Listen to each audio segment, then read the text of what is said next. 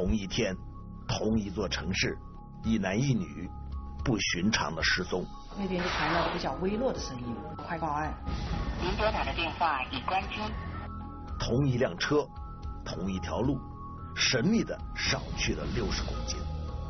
是不是有其他人员在这个车辆，在这个上刘文高速之前就已经下了车了？南下，他们都是谁？北上，他们有样的破案方程式。今日说法为您播出关于罪恶的称重。各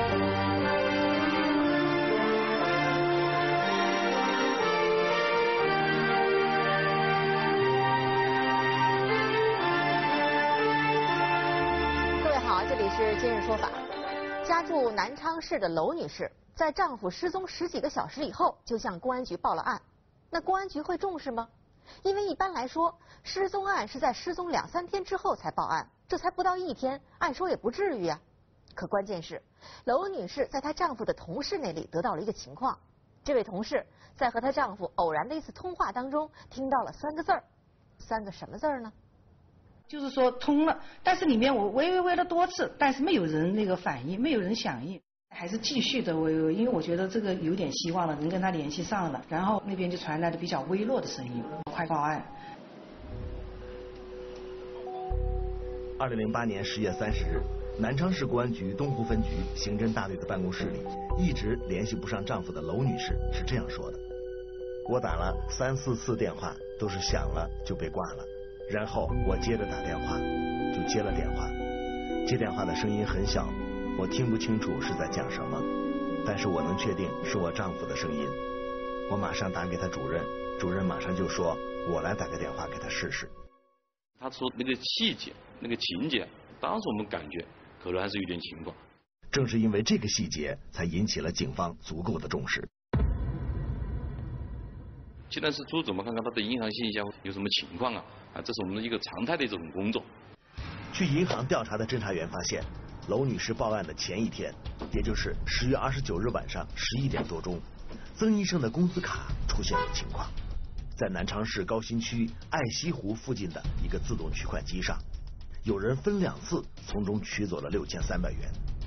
因为提款机正面的摄像头损坏，只拍到了取款人侧面的影像。这个人呢，他是那种这种棒球帽了，他进去的时候把头低得很低，感觉不让摄像头看到他的正面的那种样子。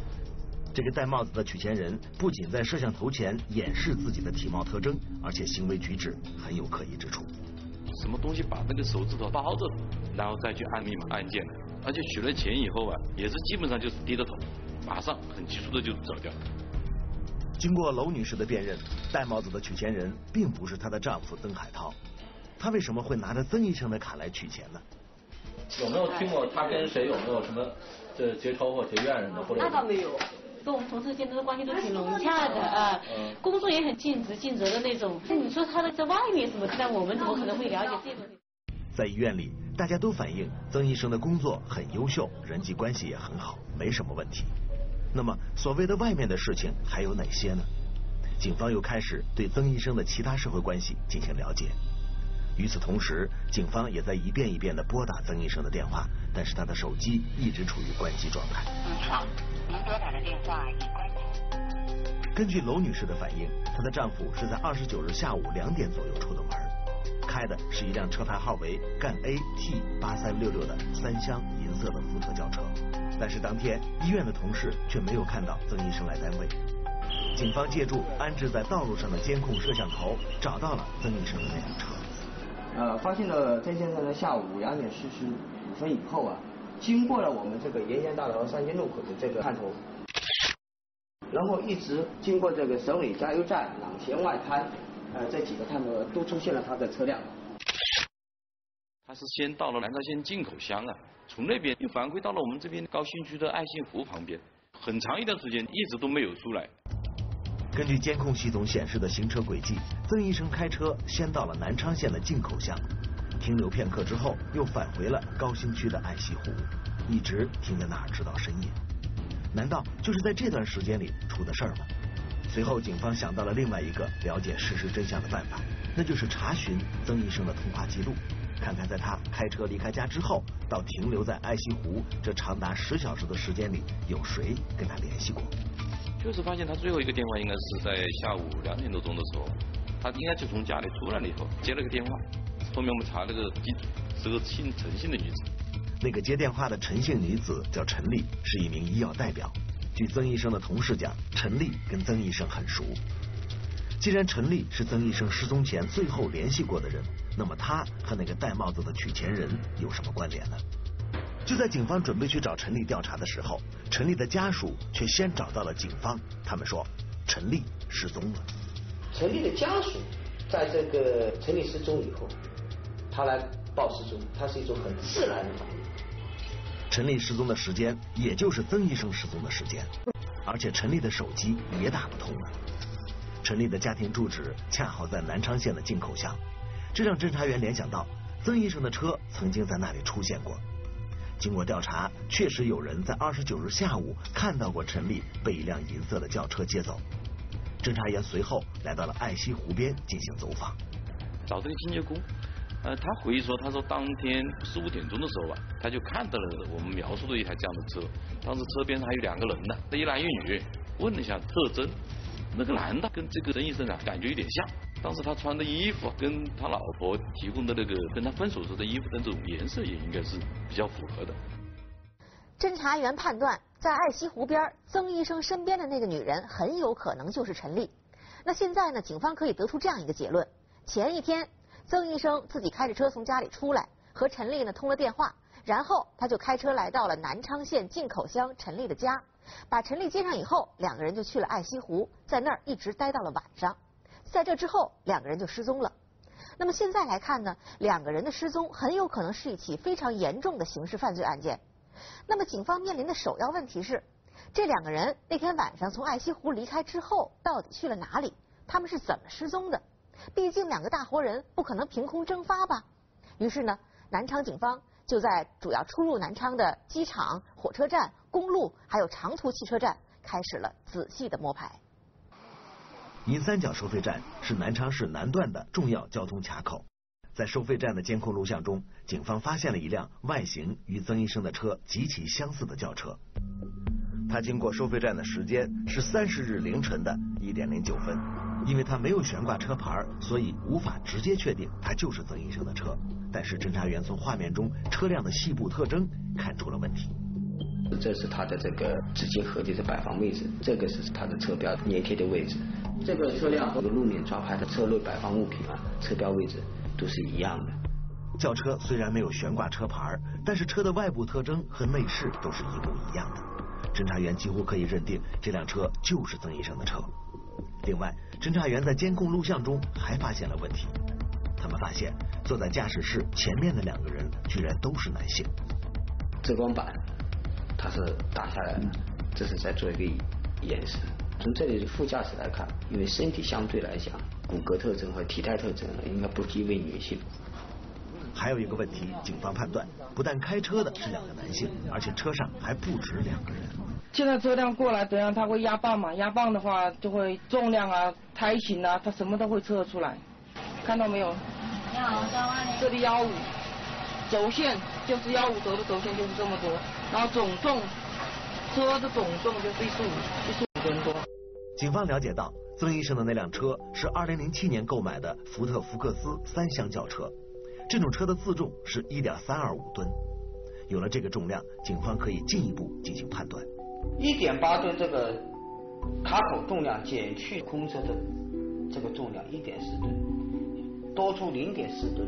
我们一个人的平均重量是一百二十斤，一百二十乘以一个六，假如说六个人的话，他就应该是七百二十斤。那么也就是说，车上除了曾医生和陈丽两人外，应该还有四名犯罪嫌疑人。警方在出银三角收费站往南的方向继续寻找这辆载着六个人的车。在南昌市进贤县梁家渡一带，一个车牌被盗的信息引起了警方的注意。一辆别克凯越的车子停在我们辖区前后车牌被盗，觉得这个案件比较可疑，因为平时的被盗车辆，呃，车牌都是前后只有一块车牌被盗，呃，像这种两块车牌被盗的情况呃比较少见。有了这个被盗车牌的信息，又有了曾医生轿车的具体模样，很快，在距离被盗车牌地点东南方向二十多公里处的李温高速收费站，又发现了嫌疑车辆。他挂的就是那辆丢失的别克车的车牌。他经过收费站的时间是三十日的凌晨三点二十七分。银三角卡口的这个抓发图片，细部特征和我们这个三点二十七分这个车的细部特征是一样的。一个是纸巾盒的放置方位，二一个这个车标的这个部分。虽然这个车没有车牌，但是从我们这个天窗还有这个天线位置，特别是中间这个这个物品的一个这个装饰品的这个黄色斑点和这个物品的黄色斑点，那么我们认定这两台车应该是同一台车。车还是那辆车，那么车里的人数是否有变化呢？侦查员调取了收费站的称重记录，经过对比，这辆车比银三角收费站的车重量轻了六十多公斤。这个离温高速的这个卡口的重量和这个我们银三角卡口的重量之间的这个误差，也符合减少一个人的重量。那么这种分析就是说，是不是有其他人员在这个上离温高速之前就已经下了车了？仔细分析下去，侦查员发现了让人感到更加不可思议的事情。在正常的行驶速度之下，由银三角收费站到离温高速收费站的车程时间大约需要半小时。可是根据两个站点录像显示的时间，曾医生的这辆车居然走了将近两个半小时。在这两个多小时里，车上的重量少了六十公斤，六十公斤大概就是一个人的重量。车上还剩下了五个六十公斤。如果这六十公斤就是一个人，那么少了的这六十公斤是谁呢？剩下的又是谁呢？侦查员继续在公路管理系统中寻找这辆车的运行轨迹。汤孙高速收费站、南康国道收费站、信丰幺零五国道收费站、从化市彩虹桥收费站。这些都是从南昌往南一直开向广东的行车轨迹。侦查员沿着车辆的轨迹追踪到了广东的清远市，根据公路上所采集到的信息，再也没有找到这辆车的影子。据此，南昌警方推断，曾医生的那辆车就在清远市，没有出去。他们请求了当地警方协助调查。就在查找这辆车的时候，清远当地又发现了另一起失踪案。当地一个银行老板和那两个夫妻昨天也失踪了，他们是开个厂的，好像搞搞搞什么建材做建材生意的。林老板的亲友告诉民警，林老板夫妻俩分别在上午和下午被一个光头男子从店铺内开车接走，之后再也没有回来过，电话也联系不上了，家里的人都感到非常不安，第二天就报了案。林老板夫妻俩在清远市当地经营了一家钢筋建材店铺。这里距离曾医生失踪的江西南昌市大约是七百多公里的距离。警方随后从林老板店铺内设置的监控器调取了失踪当天的录像。十月二日下午五点二十六分，左边的监控画面显示一辆银色的三厢福特轿车开了过来，右边的画面显示一个光头的男子从车上下来了。店里的女老板好像是在等着那辆车，她看到那辆车停下之后就走进了店铺。随后，那个光头男子也跟了进去。林老板的亲友们并不知道这个光头男子叫什么，但是知道他年约三十岁，身高一米七五左右，前额及头顶部位都没有头发，讲国语，口音像江西人。但幸运的是，林老板的亲友知道这个光头佬有个弟弟叫齐永辉，在清远市的青城区工作。通过这个齐永辉，警方立刻就掌握了这个光头佬的真名，他叫齐玉国。齐玉国这三个字让带队去清远办案的黄队长有了一种非同寻常的感觉。当时黄队长就说，他对这个齐玉国并不陌生。呃，一九九八年当时我正好在八中队当中队长的时候，那时候我们办那个绑架案，哎，他就是主犯。上次也是出狱后不久又重新作案，啊，所以他那次应该是判了一十三年吧。后面我们到那个他的监所去调查，发现他提前出狱了。警方注意到齐玉国当时驾驶的那辆车和曾医生的那辆车一模一样，会不会是同一辆车呢？如果是的话，就说明这个齐玉国不但和林老板夫妻俩的失踪案有关联，同时也和曾医生陈丽的失踪案有了关联。根据此前警方对犯罪嫌疑人数量的推测，除了齐玉国，在黄队长的心里还出现了另外的两个影子。有两个狱友，好像是关系还是比较密切的，其中一个叫是叫闵胜奎，还有一个是叫闵建军。这是闵胜奎的假释证明，你看零六年十二月一号假释，十二月三十一号，嗯，差不多提前一年吧，应该是。黄队长之所以这样推测，是因为他对这三个人之间的交往有所了解。这三个人在出狱之后，经常聚在一起吃喝玩乐。而且那个闵建军、闵胜奎当年的案件性质与齐玉国非常接近，他们有可能在出狱后聚在一起继续作案。监控探头记录下了秘密。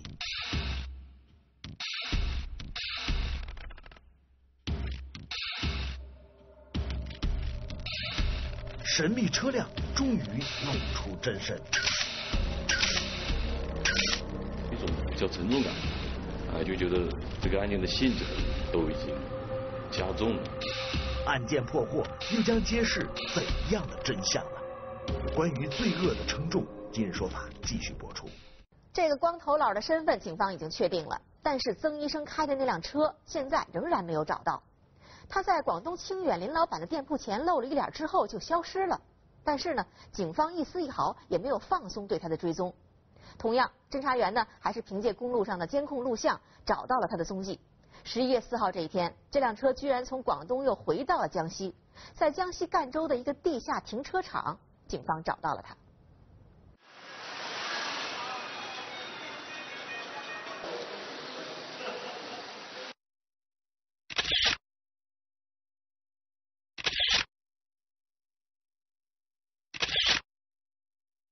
侦查员在车内没有提取到任何指纹，但是发现了八处血迹。除了血迹，别的任何痕迹没有，所以我们感觉这个应该是有擦拭啊，经过处理了。作为犯罪嫌疑人，他为了逃避打击，侦查员把现场采集的血样送回实验室进行 DNA 鉴定的同时，从停车场的监控录像里找到了三名犯罪嫌疑人的影像。其中一个光头、体型比较结实那个，跟那个曲玉国还是挺相似的。另外两个。我们所掌握的闵胜奎跟闵胜军也是比较像。此后，实验室的鉴定结论出来了，车内遗留的血迹肯定就是曾医生的血迹。我们作为办案，我们也想想人家受害人的这种感受，对吧？我们在整个过程中都是呃在宽慰这个受害人。当时看那个血的时候，确实大家心里都有一种比较沉重感，这个案件的性质可能都已经加重了。侦查员由此判断，三个犯罪嫌疑人不但涉嫌抢劫、杀人的可能性也非常之大了。他们做了案之后，轿车丢弃在了地下车库，随后又去了哪儿呢？在长途汽车站的监控录像里，又出现了他们的踪迹。调到了一个很酷似齐玉国的人，这个头发也不多，一个小光头样的。在长途汽车站，齐玉国买了三张票，他们这是要去哪儿呢？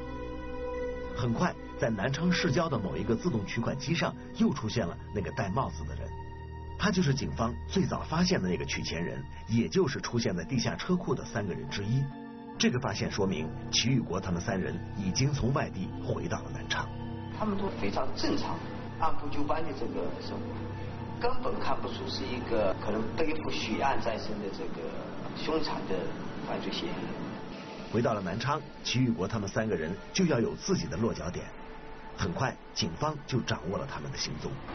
当时齐玉国是我们根据线索，他同朋友在那个我们那个南昌一个新建县的那个一个餐馆吃饭。指挥官呢就叫我们还是先盯着这个人，等他们吃完饭，然后他们上车。当时有两男两女上了那个齐玉国开的那个那个桑塔纳车，到了 KTV 门口，他们下车。呃，一下子我们觉得那个这个抓捕时机，那个是最好的。站住！站住！站住！齐宇国、闵胜奎、闵建军同时落网，警方当场从齐宇国的车上搜出了砍刀、麻绳、锄头等作案工具，同时还找到了曾医生和陈女士的证件。警方虽然抓到了三名犯罪嫌疑人，但是之前收费站的称重数据显示，犯罪嫌疑人应该是四个，这到底是怎么回事呢？警方立刻对这三名犯罪嫌疑人进行了审讯。知道为什么是被传到这来？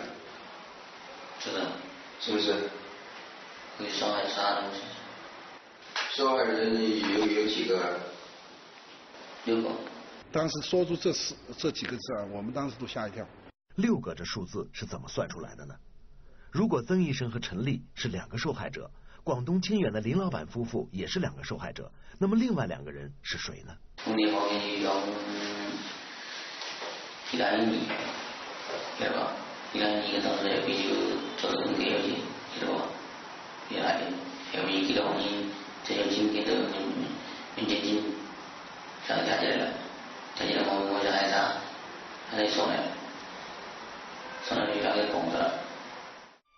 三个犯罪嫌疑人供述他们一共作案三起先后杀害了三对男女。第一对是南昌县的欧阳先生和万女士他们也是被先抢劫后杀害。出事的地点也是在爱心湖附近。像我们这么多的一个人能做什么呢因为但是我们也为了这个生意嘛所以先进这个第二对遭遇不测的就是曾医生和陈女士了。一个一个，出去嘛，山东这边就反正反正那个年纪吧？后来这这个。关于曾医生的那个求救电话，当时曾医生和陈女士被齐玉国他们劫持之后，把他们俩的电话都拆掉了电池，扔在了后座上。没想到双手被绑的曾医生趁他们没注意，装上了电池，接通了电话。他当时只说了“快报案”的三个字，就被他们发现了，电话终于被毁弃。第三对遭遇不测的就是清远开建材店的林老板夫妻俩了。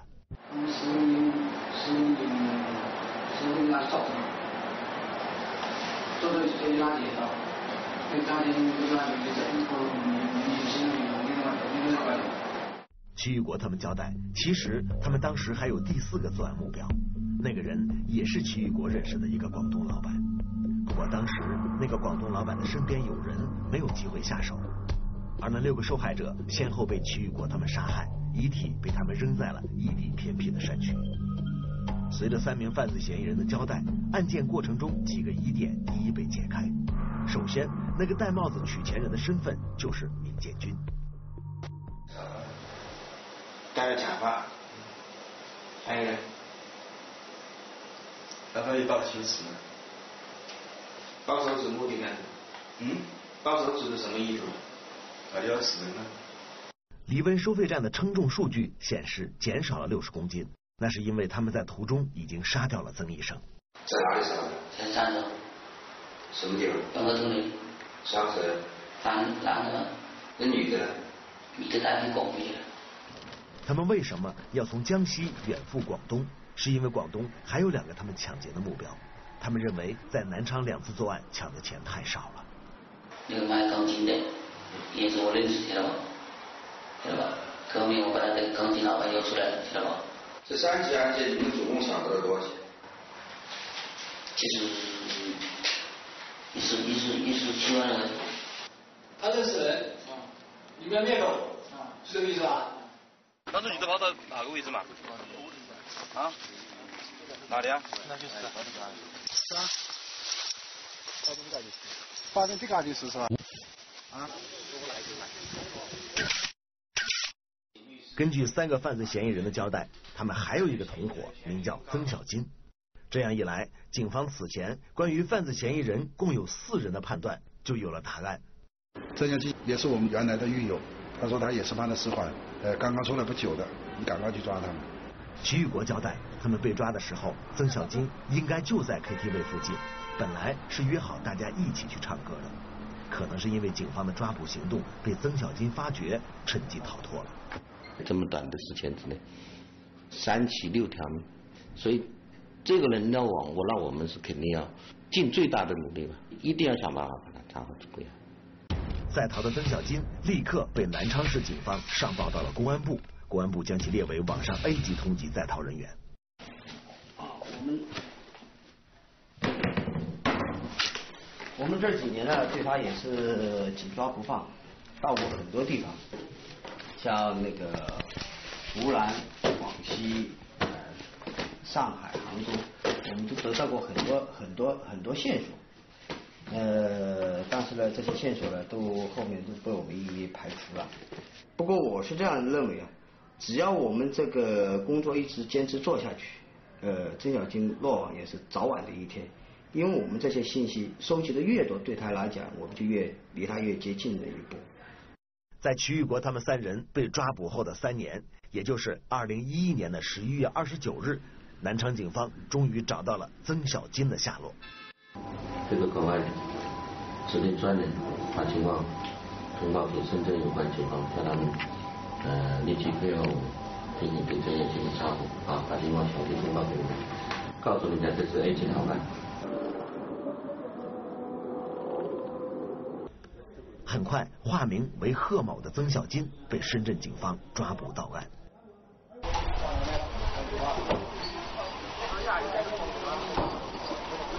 他的同事通知我抓到了，抓到了，我马上就赶过来了。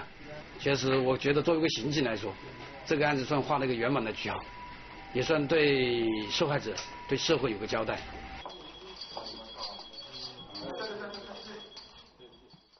目前，曾小金已经被南昌市人民检察院批准逮捕，并将被提起公诉。那么，齐玉国、闵建军、闵胜奎也都被判处了死刑。那我相信观众朋友在看完这期节目之后，会对一个细节印象非常深刻，那就是收费站的那个称重数据。侦查员呢，正是根据这个数据推断出了轿车内犯罪嫌疑人的数量。那么，在整个作案的过程当中，虽然犯罪嫌疑人企图逃避侦查，比如说他们消除指纹、乔装取钱、偷换车牌等等。但是呢，他们的行踪一直掌控在警方的手里，这就说明，只要你犯了案，就一定会留下蛛丝马迹。虽然你会想方设法逃避侦查、破坏现场，但是迟早会被先进的刑侦技术所识破。那最后呢，我想引用一句著名的刑侦专家李昌钰的一句话作为结束语，他说：“科学办案，明察秋毫。”好，感谢您收看今天的《今日说法》，希望观众朋友继续关注中央电视台第一套节目综合频道接下来的其他内容。明天见。